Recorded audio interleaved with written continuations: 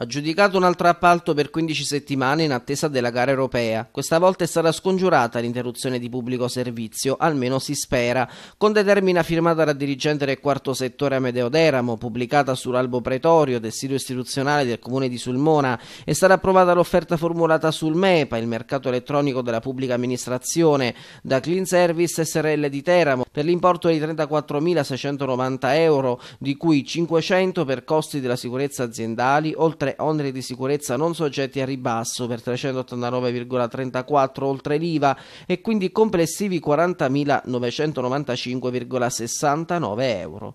L'impresa si è quindi aggiudicata l'appalto inerente servizio di pulizia degli immobili comunali per il periodo di 15 settimane, a decorrere presumtivamente dal 18 marzo 2019 fino al 30 giugno 2019. Ma le addette al servizio di pulizia aspettano ancora prima di cantare vittoria. Le ore di lavoro sono dimezzate e i contratti contratti sono ridotti a lumicino. Nei giorni scorsi avevano lamentato anche un ritardo nel pagamento degli stipendi che in alcuni casi non superano i 300-400 euro. Per questo il segretario della Filcams CGL della provincia dell'Aquila, Luigi Antonetti, ha chiesto un tavolo istituzionale per la questione degli appalti. C'è poi la questione degli stipendi arretrati con la COP 2001. La quadra è stata trovata, ma ora le addette attendono le mensilità.